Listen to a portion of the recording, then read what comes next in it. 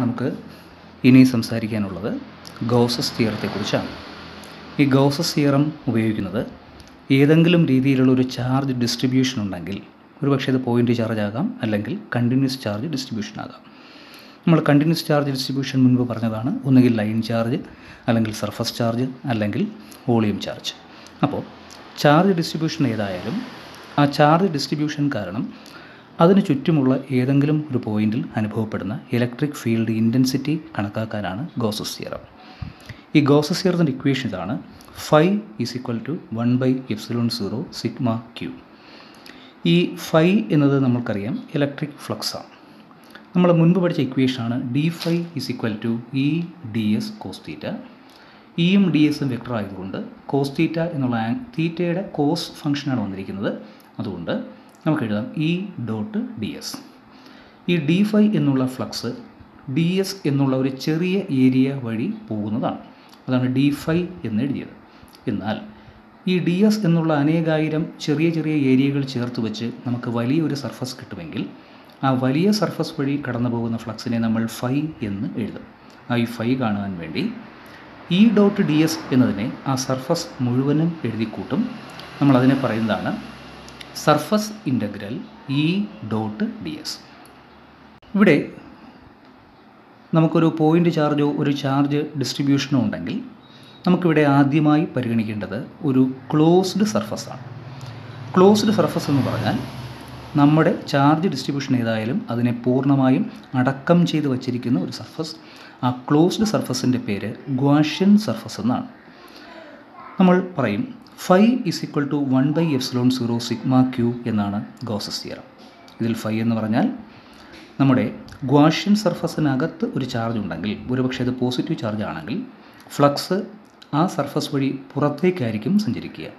ഒരുപക്ഷെ ഗ്വാഷ്യൻ സർഫസിന്റെ അകത്ത് ഇരിക്കുന്ന ചാർജ് നെഗറ്റീവ് ആണെങ്കിൽ ഫ്ലക്സ് പുറത്തു നിന്നും അകത്തോട്ടായിരിക്കും സഞ്ചരിക്കുക.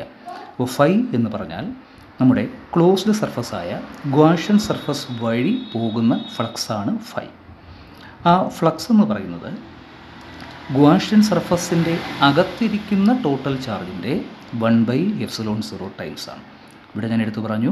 ഇവിടെ വരുന്ന ചാർജ് എന്ന് പറഞ്ഞാൽ ഗ്വാഷൻ സർഫസിന്റെ അകത്തിരിക്കുന്ന ചാർജാണ് അല്ലെങ്കിൽ അകത്തിരിക്കുന്ന ടോട്ടൽ ചാർജാണ് അതിന്റെ അർത്ഥം. പുറമേ എന്തെങ്കിലും ചാർജ് ഉണ്ടെങ്കിൽ ആ ചാർജിനെ നമ്മൾ ഇവിടെ പരിഗണിക്കത്തില്ല. അപ്പോൾ equation phi is equal to one by F epsilon zero sigma Q phi എന്ന് പറഞ്ഞാൽ ഗോഷ്യൻ സർഫസ് വഴി പോകുന്ന ഫ്ലക്സ് സിഗ്മ ക്യൂ എന്ന് പറഞ്ഞാൽ ഗോഷ്യൻ സർഫസിന്റെ ഉള്ളിൽ ഉള്ള ടോട്ടൽ ചാർജ് ഇവിടെ ഫൈ എന്നതിന് പകരം ഈ ഇക്വേഷൻ അനുസരിച്ച് നമ്മൾ surface integral E dot D S എന്ന് എഴുതി അതും എഴുതാം one by epsilon zero sigma Q ഇവിടെ സർഫസ് ഇന്റഗ്രൽ ഇവിടെ ഒരു വട്ടമിട്ടതിന്റെ അർത്ഥം നമ്മളിവിടെ പരിഗണിക്കുന്നത് ക്ലോസ്ഡ് സർഫസ് ആണ് എന്നാണ്.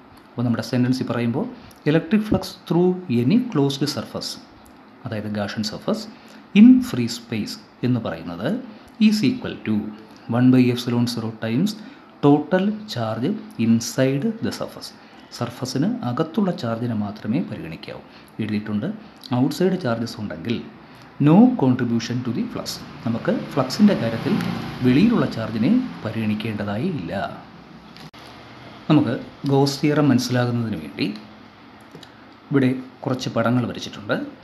ഞാൻ ഈ ഒന്നാമത്തെ ഫിഗറിൽ വരച്ചിരിക്കുന്നത് പോസിറ്റീവ് ചാർജാണ് പ്ലസ് ക്യൂ എന്നുള്ളൊരു പോയിന്റ് ചാർജാണ്. നമുക്കിവിടെ ആദ്യം വേണ്ടത് ഈ ചാർജിനെ പൂർണമായും എൻക്ലോസ് ചെയ്യുന്ന ഒരു സർഫസാണ്. അപ്പോൾ എനിക്കിവിടെ ഒരു ലൈൻ അല്ലെങ്കിൽ ക്ലോസ്ഡ് പാത്തേ വരയ്ക്കാൻ പറ്റൂ നിങ്ങൾ മനസ്സിലാക്കുക. ഇത് ഈ പ്ലസ് ക്യൂ എന്നുള്ള ചാർജിനെ പൂർണമായും എൻക്ലോസ് ചെയ്തിരിക്കുന്ന ഒരു സർഫസാണ്. അതായത് സർഫസിന്റെ ഒരു ഭാഗം മുകളിലുമുണ്ട് ബാക്കി ഭാഗം താഴെയുമുണ്ട്. അപ്പോൾ ഈ സർഫസ് കാരണം ഈ ചാർജ് പൂർണമായും എൻക്ലോസ് ചെയ്യപ്പെട്ടിരിക്കുകയാണ്. ഈ ക്ലോസ്ഡ് സർഫസിന്റെ പേര് ഗോഷൻ സർഫസാണ്. ഗ്വാഷൻ സർഫസിന് ഇന്ന ഷേപ്പ് വേണമെന്ന് നിർബന്ധമില്ല. ഒരൊറ്റ കണ്ടീഷൻ മാത്രമേ ഉള്ളൂ അത് ക്ലോസ്ഡ് ആയിരിക്കണം. നമുക്ക് പക്ഷേ ചാർജിന്റെ സ്വഭാവങ്ങൾ ചാർജിന്റെ ഡിസ്ട്രിബ്യൂഷൻ അനുസരിച്ച് ഏറ്റവും അനുയോജ്യമായ ഷേപ്പുള്ള ഗോഷൻ സർഫസ് നമുക്ക് തീരുമാനിക്കാം. ഇവിടെ പ്ലസ് ക്യൂ എന്നുള്ള ചാർജ് അല്ലെങ്കിൽ ഒരു പോയിന്റ് ചാർജ് ഇരിക്കുന്നു. അതിരിക്കുന്നത് ഒരു ഗോഷൻ സർഫസിന്റെ ഉള്ളിലാണ്. പ്ലസ് ക്യൂ എന്നുള്ള ചാർജ് ഉള്ളതിനാൽ നമുക്കറിയാം lines of force Gaussian surface വഴി പുറത്തോട്ടായിരിക്കും സഞ്ചരിക്കുക. എങ്കിൽ ഈ സർഫസ് വഴി പുറത്തോട്ട് പോകുന്ന എല്ലാ ലൈൻസ് ഓഫ് ഫോഴ്സിനെയും ചേർത്ത് വിളിക്കുന്ന പേര് ഫ്ലക്സ് എന്നാണ്. ആ ഫ്ലക്സ് എന്ന് പറയുന്നത് അല്ലെങ്കിൽ ഫ്ലക്സ് ത്രൂ ഗോഷൻ സർഫസ് എന്ന് പറയുന്നത് അകത്തിരിക്കുന്ന ചാർജ് എന്താണോ അതിന്റെ one by epsilon zero ടൈംസാണ് ഒരുപക്ഷെ ഇത് മൈനസ് ക്യൂ ആയിരുന്നെങ്കിൽ ഇവിടെ ലൈൻസ് ഓഫ് ഫോഴ്സ് പുറത്തുനിന്ന് അകത്തോട്ട് വന്നേനെ ആരോ മാർക്ക് തിരിച്ചു കൊടുത്തേനെ. അപ്പോഴും condition phi is equal to one by epsilon zero Q തന്നെയാണ്. നമ്മൾ അടുത്തൊരു ഫിഗറിലേക്ക് വന്നു. ഇവിടെ ക്ലോസ്ഡ് സർഫസിനകത്തിരിക്കുന്നത് പ്ലസ് വൺ കൂളോം എന്നുള്ള ചാർജാണ് എന്നാൽ മൈനസ് ടു കൂളോം എന്നൊരു ചാർജ് പുറമേ ഇരിപ്പുണ്ട്. നമ്മളിവിടെ പറഞ്ഞ അനുസരിച്ച് ഇവിടെ ഫ്ലക്സിന്റെ കാര്യം പറയുമ്പോൾ അകത്തിരിക്കുന്ന വൺ കൂളോമ്പിനെ മാത്രമേ നമ്മൾ പരിഗണിക്കേണ്ടതായിട്ടുള്ളൂ. വെളിയിലിരിക്കുന്ന മൈനസ് ടു കൂളോമ്പ് നമ്മൾ ഇവിടെ പരിഗണിക്കില്ല. അപ്പോൾ അകത്തുള്ള ചാർജ് മാത്രമേ നമുക്ക് ഗോസ് സീറത്തിൽ പരിഗണിക്കേണ്ടതായിട്ടുള്ളൂ. ഇനി അടുത്ത പടം ശ്രദ്ധിക്കുക. ഇവിടെ ഒരു ക്ലോസ്ഡ് സർഫസ് ഉണ്ട്. എന്നാൽ ചാർജിനെ ഞാൻ വരച്ചിരിക്കുന്ന സർഫസിന്റെ വെളിയിലാണ്. ഇത്തരം കണ്ടീഷൻ മനസ്സിലാക്കേണ്ടത് ഇവിടെ ക്ലോസ്ഡ് സർഫസിന്റെ അകത്ത് ചാർജ് സീറോ ആയതിനാൽ ഫ്ലക്സ് സീറോ അല്ലെങ്കിൽ surface integral E dot D S zero.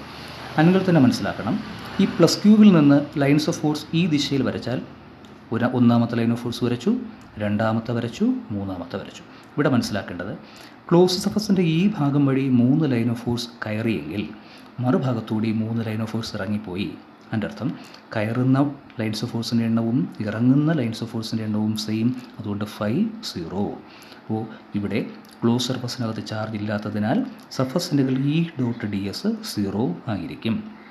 ഇനി അടുത്ത പടത്തിലേക്ക് വന്നാൽ ഇവിടെ ക്ലോസ്ഡ് സർഫസിനകത്ത് വരച്ചിരിക്കുന്നത് പ്ലസ് ക്യൂ മൈനസ് ക്യൂ എന്നുള്ളൊരു ഡൈപോളിനെയാണ് ഈക്വൽ ആൻഡ് ഓപ്പോസിറ്റ് ചാർജസ് ഇത് പ്ലസ് ക്യൂ ആയതിനാൽ ലൈൻ ഓഫ് ഫോഴ്സ് പുറത്തോട്ടായിരിക്കും. ഇവിടെ മൈനസ് ക്യൂ ആയതിനാൽ ലൈൻ ഓഫ് ഫോഴ്സ് അകത്തോട്ടായിരിക്കും. രണ്ടുപേരും ഒരേ മാഗ്നിറ്റ്യൂഡുള്ള ചാർജ് ആയതിനാൽ ഇവിടെ പുറത്തോട്ട് പോകുന്ന ലൈൻസ് ഓഫ് ഫോഴ്സിന്റെ എണ്ണവും ഇവിടെ അകത്തോട്ട് വരുന്ന ലൈൻസ് ഓഫ് ഫോഴ്സിന്റെ എണ്ണവും തുല്യമാണ്.